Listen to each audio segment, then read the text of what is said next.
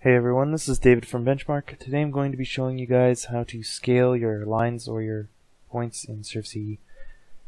Uh, so the, as you can see I got some line work done here already. I'm just going to close out of my map screen and go to the COGO tab and choose option 7 Transform.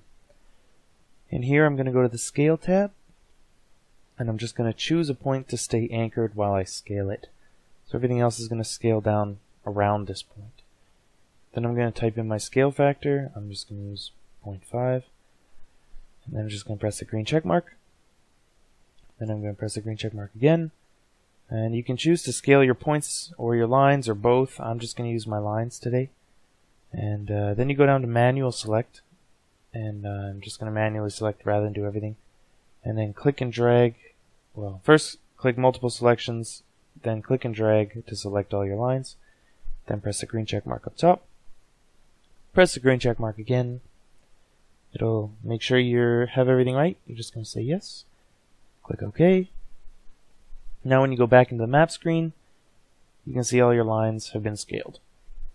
That's all for today. If you got any questions, feel free to give me a call at 1-888-286-3204 or visit our website at www.bench-mark.ca. Thanks for watching. Have a great day.